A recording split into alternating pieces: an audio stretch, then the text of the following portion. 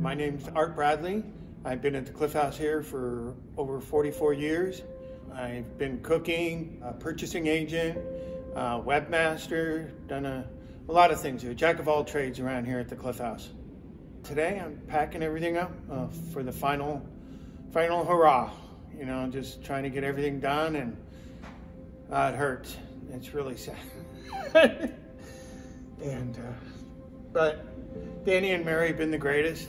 I mean, it's a family run business here and uh, they're the best. And uh, it's, I'm a native San Franciscan and I've been coming to the Cliff House all my life here as a kid. And, you know, coming here to work was a great honor and privilege. And so it's still, it's still always going to be the Cliff House for me. So when we did the remodel, when it's been about 15 years ago, we had to take everything out of the building here. And it was my job to take everything out, package it all up, inventory it all, and put it all in storage for oh, about four to six months. And then once we got done with the remodel, it was my job to bring everything back and unpack it all. And I love doing it though. I'm a little pack rat and I love organizing and keep things organized. So that's why they got me sort of in the back of the house as a purchasing agent, keeping everything on track. I know where everything is and it was really funny when we did the remodel last time. It was like a Winchester Mystery House. There was a lot of, you know, nooks and crannies and doorways and windows going nowhere.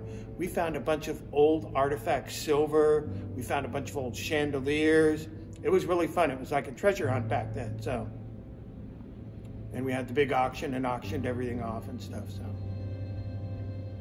I don't know what's going to happen here with this building and stuff. You know, it's just, it's a beautiful location. You can't beat it. You know.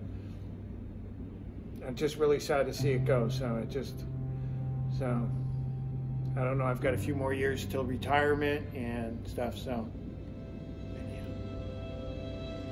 it's the love for the Cliff House and, and, love for San Francisco. You know, the Cliff House is the Cliff House. You know, I mean, what you can't beat the view here, Ocean Beach. You know, it's a beautiful place to work.